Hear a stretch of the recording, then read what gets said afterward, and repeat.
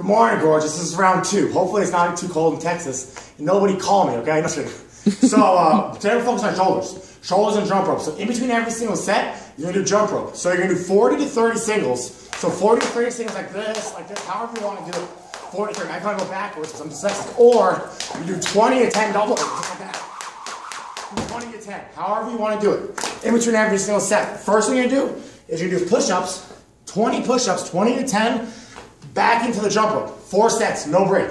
Then you go shoulder press, 15 pounds, 20. If you want to go heavier, go 10 reps, but 20 reps with the shoulder press with 15 pounds, back into the jump rope. Then you're gonna grab the 10 pounds, you have lateral raise, 20 lateral raise, back to jump rope. Then you have bench dips, bench dips or normal dips, you have 20.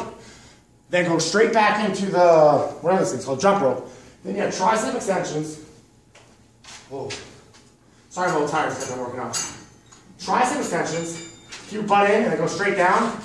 Do 20 of 20 to 40 of them. And keep going heavier and heavier. Then go right back in the jump up between every single set.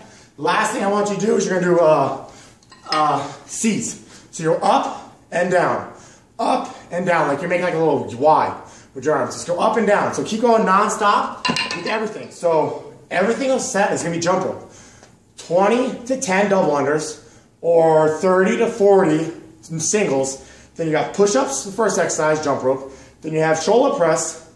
Then you have lateral raise. Then you have dips, tricep extensions, and then the C's, these guys right here. You have four sets of everything, back and forth jump rope. No break. Good luck, how you want it goes.